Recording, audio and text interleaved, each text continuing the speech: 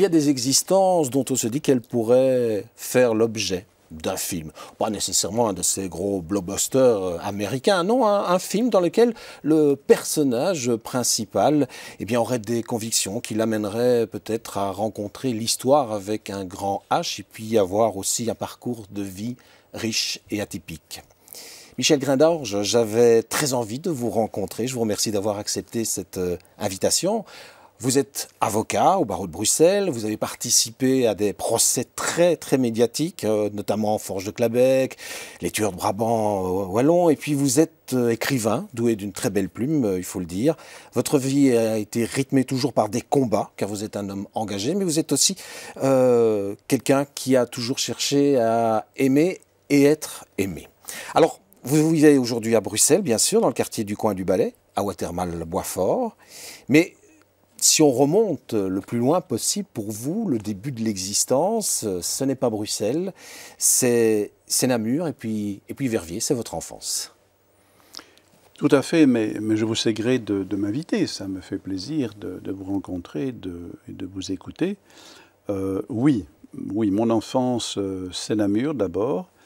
Et puis, c'est Verviers, parce que mon père, il fut nommé chef surveillant de prison. Et je garde de, cette ville euh, une vision contrastée, à la fois fascinante et en même temps chargée d'interrogations et d'inquiétudes, puisque ce fut la ville de mon adolescence, de mes révoltes, de mes interrogations. Mhm. Mais je suis un bruxellois d'adoption, si je puis dire mais je reste très, très lié à mes racines wallonnes. Alors, ce qu'on ne sait peut-être pas toujours, c'est que vous avez eu votre éducation chez les jésuites. C'est véritablement eux qui vous ont, euh, au départ, formé. Oui, euh, là, je garde un souvenir magnifique des jésuites euh, à Saint-François-Xavier à Verviers. C'était la tradition classique, puisque moi, je termine mes études chez eux en 58, 57. Euh, et c'est encore uniquement les hommes jésuites euh, avec leur, je veux dire leur toge, avec leur, leur, euh, leur soutane. Et c'est une éducation rigoureuse, magnifique. 10 heures de latin par semaine à l'époque, 6 heures de grec, 4 heures de français en semaine, c'était beaucoup. Et les maths, oui, un peu. Et les sciences, alors, chimie, physique, en bout de course. C'est une éducation qui marque toute une vie, ça? Oui, oui. Oui, et tous ceux qui étaient avec moi, d'après mes souvenirs, ont appris notamment à parler, à s'exprimer. Parce que nous avions en rhétorique un cours donné par le professeur Baudot, où chaque mardi ou mercredi après-midi, on se retrouvait euh, du style Michel, vous sortez, euh, réfléchissez à ceci. L'amour, ce n'est pas se regarder l'un l'autre, mais regarder ensemble dans la même direction. Texte, Saint-Exupéry. Et puis on sortait, on devait réfléchir pendant dix minutes et en parler pendant un quart d'heure. Hmm. Sans papier, devant la classe. C'était des E, B au début, et puis alors il nous corrigeait avec gentillesse, avec délicatesse, si bien que là notamment on a appris à parler. Oui, tous, tous les gars de, ma classe. Un épisode important dans votre existence, un épisode euh, qu'on pourrait vivre mal. On a la tuberculose et on se retrouve dans un sanatorium et, et paradoxalement, c'est l'épisode peut-être le plus important de votre existence. Oui, c'est bien ce que vous dites. Paradoxalement, euh, je garde pour moi, il faut voir comment mes proches l'ont vécu à l'époque, enfin ma sœur en tout cas, un souvenir ébloui. Parce qu'au-delà de la tuberculose que j'ai eue pendant plusieurs mois, euh, le lieu était magique, un peu, même beaucoup, à l'image de la montagne magique de Thomas Mann un grand paysage, l'Ertugenwald, euh, des lectures, de la musique, des conférences. Nous avions des conférenciers qui venaient nous dire bonjour et qui venaient parler, euh, des amitiés, beaucoup de rêves, beaucoup d'écriture, et puis la santé peu à peu qui revient. Non, je garde un beau souvenir. C'est aussi là que vous découvrez euh, les écrits de Karl Marx? Oui. Oui. Je souris parce que c'est tout à fait pertinent ce que vous dites. En fait, c'est un jésuite qui s'appelait, euh, peut-être vit-il encore, Jean-Yves Calvé, qui avait écrit un gros bouquin de, de 600-700 pages intitulé La pensée de Karl Marx. Et j'ai planché, j'ai pioché ce livre, et ça m'a donné vraiment beaucoup de, connaissances, sans doute orientées, puisque jésuite, euh, comme les mmh. jésuites peuvent faire les, choses, vous l'imaginez bien sûr, mais avec une... Et c'est à partir de là que j'ai commencé à lire le manifeste du Parti communiste, euh, et puis par la suite, j'entrais au Parti communiste. Très rapidement, d'ailleurs, après, c'est pratiquement un an après votre passage dans, dans, le sanatorium. Après le sanatorium, j'arrivais à l'ULB, là je m'inscrivais spontanément aux étudiants communistes et puis j'entrais au parti euh, à l'époque lors de la grande grève de 60-61, mhm. qui fut un, grand moment euh, politique et humain. Euh, j'étais tout jeune, j'avais 20 ans ou quelque chose comme ça, et j'en garde un, souvenir. Vous savez, voir le pays qui pouvait basculer et vivre autrement, que le pouvoir politique et économique surtout appartenait effectivement l'ensemble des travailleurs. Vous avez vraiment eu l'impression qu'à ce moment-là, tout pouvait changer, que la ah société pouvait changer? Oui. J'ai le souvenir de grands meetings à la Maison du Peuple, ou bien plus encore de, voyages militants dans le Borinage, où les... c'était occupé par les travailleurs et par les syndicats. On ne passait que si on avait euh, un feu vert en quelque sorte. Non, c'est vraiment le sentiment que le pouvoir économique, surtout politiquement, le, pays avait des était une démocratie, mais économiquement, c'était l'éruption d'autre chose, oui, mmh. d'un autre pouvoir. Vous passez plusieurs années au, Parti communiste, et, oui. et, et, puis un jour, c'est quand, même, euh, quand même la rupture. Pourquoi? Vous, vous, ne vous retrouvez plus euh, euh, dans ce qui est dit, dans ce qui est fait, dans les actions? Oui, il y a une première rupture. C'est en 1963 euh, où je choisis avec d'autres, euh, appelons ça le camp chinois, les thèses chinoises de l'époque contre les thèses soviétiques. Euh, et, puis alors je participe à la fondation d'un petit parti qui s'intitule marxiste-léniniste, qui malheureusement est dogmatique, pesant, coupé de la réalité, même s'il y avait des hommes et des femmes de qualité. Et là, j'ai eu l'occasion d'aller en Chine deux fois, d'aller en Albanie aussi, euh, surtout la Chine, et, et puis là j'en serai exclu de ce parti en 67. Euh, avec beaucoup de tristesse, mais pour rejoindre, pour répondre à votre question, je ne me reconnaissais pas dans ce dogmatisme pesant, dans ce, cette absence de liberté, dans, dans ce rêve que j'avais en tête, comme, comme Camus le développe merveilleusement. Euh, un socialisme de la liberté, des libertés. Et nous étions confrontés avec euh, notre jeune âge à des hommes et des femmes qui avaient été magnifiques pendant la Seconde Guerre mondiale, mais qui ne supportaient pas la critique. Mhm. Et au-delà de cela, les, systèmes qu'on avait pu entrevoir ou connaître un peu étaient des systèmes euh, bureaucratiques pesants, où on avait déjà eu des alertes. En 56, j'étais trop jeune. 68, je m'étais opposé totalement euh, à l'occupation de la Tchécoslovaquie. Euh, et puis par la suite, ce fut Afghanistan 79, etc. Euh, vraiment, non, cet idéal m'est toujours chevillé au cœur, mais les modalités d'exécution, la façon de, de le mener, surtout sur la question de la liberté et de la liberté d'expression. Mmh. Autre date importante, 1965. C'est là que vous devenez avocat. Alors, euh, véritable vocation? Euh, Oui, je crois. Au départ, je rêvais euh, d'être professeur de français. Et c'est quand j'étais en sanatorium que l'assistante sociale, Madame Ditteren, m'a convaincu de, faire le droit. Et puis, chemin faisant, effectivement, j'ai fait le droit avec plaisir. Et je m'inscris au barreau en 1965. Et ça devient une vocation, oui avec euh, déjà des idées bien précises du, type d'affaires que vous avez envie de, plaider. Euh, vous avez envie de, choses particulières ou bien les choses viennent à, vous comme ça? Non, euh, presque d'emblée, je rêve de droit pénal. J'aime beaucoup le droit pénal, cette discipline assez, assez difficile, assez singulière.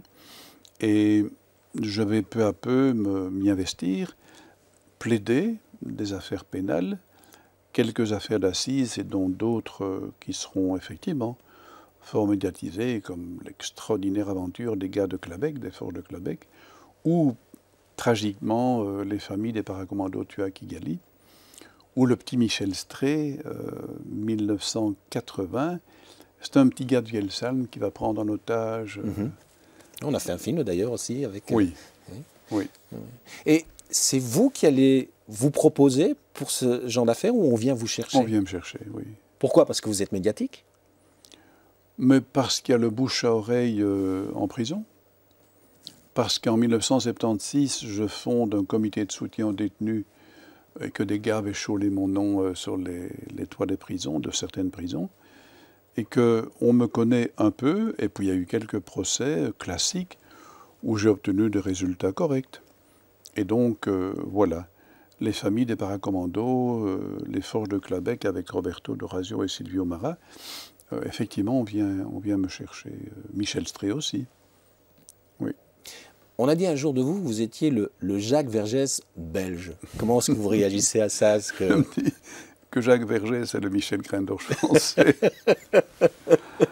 J'aime bien Jacques Vergès. C'est un homme extrêmement attachant. C'est un, devenu un vieux monsieur, mais toujours vaillant, comme on dit en pays wallon, et qui, il y a quelques mois, plaidait encore à Phnom Penh. Mhm. Est-ce que, comme lui, vous pensez que toutes les causes peuvent être plaidées? Est-ce qu'il y a, je vais aller plus loin, est-ce qu'il y a des moments où vous avez dit non, ça je peux pas? Je me le suis dit. Je me le suis dit, pour parler clair, que je ne pourrais pas, en mémoire de mon père notamment, qui fut un résistant dès septembre 40, défendre et bien défendre, parce qu'ils doivent être défendus, des militants d'extrême droite. Mmh. Euh, je ne le pourrais pas. Je le ferais mal de surcroît pour eux. Ils doivent être défendus. Nous sommes dans un état de droit. Euh, il y a des procès qui, seraient, qui auraient été très difficiles. J'admire mon ami euh, Xavier Magnier pour avoir osé défendre Marc Dutroux. Il le fallait, cet homme-là aussi, fut-il mhm. Marc Dutroux, devait être défendu. On vous l'aurait proposé, vous auriez accepté hmm. Difficile à répondre à ça comme euh, question. non, je ne vais pas éluder votre, la réponse à votre question. Je crois que j'aurais accepté, oui. Ça aurait été très dur. J'aurais dû faire un examen avec moi-même, discuter avec cet homme-là. Évidemment, c'est... Mais pour parler simplement, actuellement, euh, je ne sais pas quelle sera la décision de la Cour de cassation, mais je suis opposé à la libération de Michel Martin. Mhm. Comme beaucoup de gens d'ailleurs. Non pas qu'ils ne doivent pas retrouver la liberté un jour, c'est un être humain, quoi qu'elle ait fait, mais c'est trop tôt, à mes yeux. Mhm. Alors, dites-moi, un moment dans votre existence quand même important aussi, un avocat qui se retrouve en prison, c'est relativement rare. Vous êtes soupçonné d'avoir aidé le lieutenant de, Jacques Messrine à, se faire la belle. Vous avez été acquitté par, par deux fois, mais mhm. Comment est-ce qu'on vit ça? Je suppose que euh, on le vit mal, mais en même temps, peut-être, est-ce que cet événement vous a apporté par la suite quelque chose? Oui. Il y a une première réflexion qui me vient à l'esprit en vous écoutant, c'est le fait que heureusement on est en Belgique, Belgique, France, euh, Allemagne, et que nous sommes des États de droit avec toutes ces imperfections. Je savais qu'on n'allait pas me tuer et qu'on n'allait pas me torturer. Ça paraît élémentaire, mais c'est énorme. Pour avoir été observateur de la Ligue des droits de l'homme en Espagne sous Franco, euh, en Bulgarie avec Givkov, euh, ou en Grèce à l'époque des colonels, quand on sait ce que la dictature peut avoir d'horrible. Donc ici, y avait ça. Pas d'inquiétude fondamentale. Deuxièmement, je me suis organisé dès le début pour avoir une grande discipline en prison. Tous les jours, tous les jours, tous les jours, je faisais du cross. Euh, j'avais 40 ans environ. Et j'ai écrit aussi pratiquement chaque jour, indépendamment des moments où j'étais longuement et durement interrogé. C'était dur, mais comme vous l'avez évoqué, j'ai beaucoup appris. Beaucoup appris, je suis resté quand même quatre mois en prison. Mmh. Beaucoup appris sur le... Ah, pas sur la prison elle-même, ce n'était qu'une confirmation de ce que je pouvais connaître ou pressentir, mais sur le fait notamment, mon père avait été surveillant puis chef surveillant de prison. Et j'avais, je ne dirais pas la tendresse pour les gardiens, encore qu'aujourd'hui encore, je suis allé à la prison de voir une femme, une cliente, et hum, j'ai une tendresse pour eux. Et donc voilà, ce fut une lutte très dure avec le monde judiciaire, une partie du monde judiciaire, mais comme vous l'avez rappelé, j'ai été acquitté deux fois. Alors il y a une partie de votre vie qui est moins médiatique, les gens connaissent moins. Vous êtes au départ euh, effectivement formé par les jésuites, vous avez un parcours avec les communistes, vous êtes agnostique, vous êtes libre penseur, mm. et puis il y a la figure de Christ pour mm. laquelle vous vouez une véritable passion. Mm. Et là, certains peuvent se dire, mais c'est plein de paradoxes. Est-ce que c'est paradoxal dans votre parcours? Ou est-ce qu'il y a une logique? Je crois qu'il y a une logique. J'ai la chance d'avoir une compagne qui est chrétienne et, elle a la foi. Elle a la foi que je n'ai pas, mais c'est vrai que le personnage du Christ m'a toujours hanté, je crois que c'est le mot. Même si par rapport à 2-3 ans, euh, je m'interroge moins sur l'éventuelle divinité ou incarnation, euh, tout cela me paraît très lointain et je suis, je ne dirais pas plus terre à terre, mais plus euh, sensible à une, journée qui se termine, à un verre d'eau que l'on boit ou une tasse de café, à des choses simples, mhm.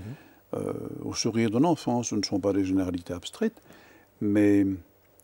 Et je me dis que peut-être il y a autre chose, on verra bien, je ne sais pas. Mais la figure de Jésus, oui, ça, ça me, elle me bouleverse. Pourquoi? Est-ce que c'est uniquement cette figure ou c'est aussi ce, message finalement? Les deux. Mhm. Les deux c'est la non-violence active, c'est la tendresse et l'amour, de ce que l'on peut savoir de lui en tout cas, et de ceux, qui vont, de ceux ou celles qui vont l'entourer. C'est des phrases euh, qui nous marquent encore aujourd'hui. Aimez-vous les uns les autres, euh, qu'on trouve déjà dans la tradition juive. Je viens de lire tout récemment un, livre de Tariq Ramadan mhm. sur le prophète Mohammed passionnant, passionnant.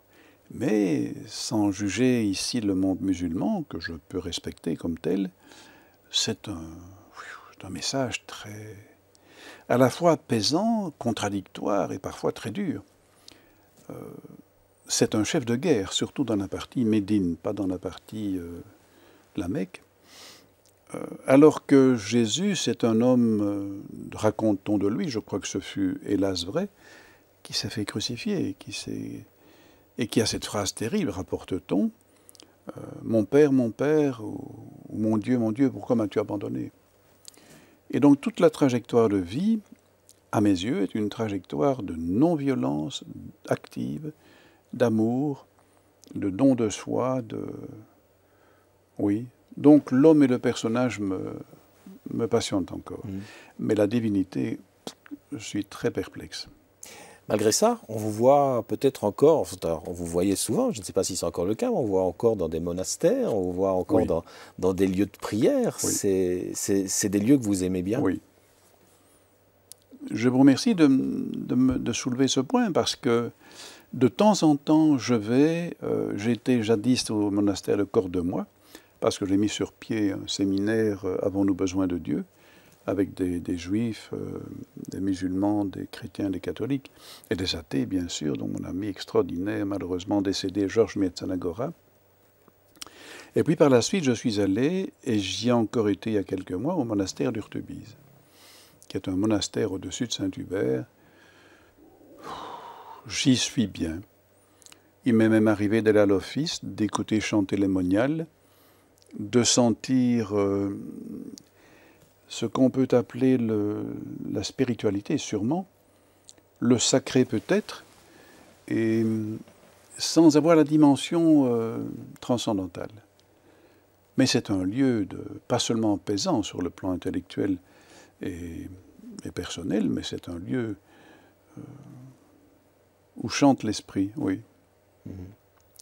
Aujourd'hui aussi, Bruxelles, vous y vivez, vous êtes dans un quartier un peu particulier, vous avez vos habitudes. Euh, c'est quoi le, Michel Grindorge bruxellois? Vous avez des, des, lieux, des endroits où vous aimez bien aller? Ce sont mes enfants, d'abord. J'ai la chance d'avoir une grande fille qui est violoniste et comédienne, un grand garçon qui est musicien aussi, et un petit qui, a, qui va avoir 15 ans. Et donc ce sont trois Bruxellois, enfin ils sont tous nés à Bruxelles. C'est aussi leur maman. Euh, c'est une série d'amis. C'est ma compagne qui est normande, mais qui vit à Bruxelles de longue date maintenant. Euh, voilà, c'est une ville qui me parle, et là où j'ai la chance euh, de vivre au coin du Balai à Boisfort, c'est la proximité de la forêt de soigne, où je ne vais pas assez d'ailleurs, malheureusement. C'est une simplicité de vie, euh, une sorte de qualité du, silence et des relations simples avec les gens. Euh, c'est une ville que j'aime beaucoup, d'une manière générale. Mhm. C'est une ville que j'aime beaucoup. Elle n'a pas la grandeur d'une ville comme Rome, comme Berlin, comme Paris ou comme Londres. Paris que je connais un peu quand même. Mais c'est une ville conviviale. Euh, je crois que beaucoup de gens, quand ils la connaissent, apprennent à l'aimer. Avec, euh, sur le plan culturel, beaucoup de choses qui s'y passent. Vous le savez mieux que moi-même. Mhm. Donc je me sens euh, wallon, bruxellois, belge, européen, citoyen du monde. L'amitié, Michel Grindorge aussi, c'est important ça. Oui. Vous êtes quelqu'un très fidèle en amitié. Oui, je crois. J'ai de grands amis. Oui, il y en a plusieurs. Oui. Vous avez besoin de ça, de retrouver des, gens C'est des, des, balises, c'est des points de repère, c'est. Euh, c'est une alternance entre la solitude que j'affectionne beaucoup et ce besoin d'amitié et par ailleurs d'amour euh, que, je ressens. Mais cette amitié-là, euh, oui, oui, pas tellement pour partager avec mes amis hommes, je suis quelqu'un, comme je trouve en général les hommes entre eux, d'assez taiseux. Mhm. Je crois que nous parlons moins que les femmes entre elles. Pas un jugement de valeur, hein, c'est, je crois, un constat, une impression. Mais sur le plan affectif, euh, oui. Oui, je, pense, je suis même sûr que ce besoin d'amour est fondamental. Les femmes aussi? Grande importance dans votre vie, vous leur accordez une importance même euh, primordiale Oui, oui, oui. Euh, oui, il y a ma compagne actuellement, puis il y a eu dans le passé euh, la, mère de mes grands-enfants, puis une autre femme ultérieurement, peu importe. Mais oui. Oui, je veux dire oui. je pense que c'est une, une façon de vivre et de mourir je suis même persuadé de cela. C'est Alfred de Musset qui, disait, enfin j'ai vu ça récemment, euh, quand on a beaucoup aimé, on a beaucoup vécu, ou l'idée était celle-là. Mhm. Et donc oui, l'amitié et l'amour sûrement. Alors on l'a dit en début d'émission, un, parcours euh, étonnant qui pourrait valoir un film. Est-ce que ce film euh, aurait pu exister ou pourrait-il exister? Est-ce qu'on vous a fait des propositions? Il y a longtemps, quand je fus arrêté, euh, libéré puis acquitté, donc en 1979-1980, un, de vos collègues cinéastes, Samy Pavel, avait proposé de faire un film. Puis ça ne s'est pas fait euh, pour des raisons dont je ne me souviens pas. Mais si quelqu'un le souhaitait, ça pourrait se faire éventuellement. Vous êtes partant. Euh, oui. On arrive tout doucement à la fin du, de cette émission et ma dernière question, ça sera peut-être euh, bah, peut-être la plus importante par rapport à votre parcours aujourd'hui. Est-ce que vous avez l'impression d'être un homme apaisé? Je vais répondre pas comme d'une manière euh, à la normande. Je vais dire oui et non. Oui sur une série de, de problèmes importants philosophique. Je suis, je pas prêt à mourir, la question ne se pose pas ainsi. Mais de ce point de vue-là, je suis plus apaisé que je ne le fus il y a 10 ou 15 ans. Non dans la mesure où, je m'interroge encore euh, sur la qualité d'une santé qui est hésitante ces derniers temps, sur euh, d'autres thèmes. Euh. et alors, j'ai cette interrogation de la littérature que vous avez esquissé tout à l'heure, qui est une interrogation euh, pas douloureuse, mais difficile. Pas facile d'écrire. Mhm. Mais j'espère que vous allez avoir cette impulsion encore, parce que c'est vrai que quand on lit vos livres, bah, on découvre qu'il y a une très très belle plume. Et donc j'espère avoir l'occasion de vous retrouver pour la sortie d'un ouvrage. Michel Guindorche, merci beaucoup. J'étais vraiment ravi de vous rencontrer. Moi aussi. Bonne continuation. Merci pour la pertinence de vos questions.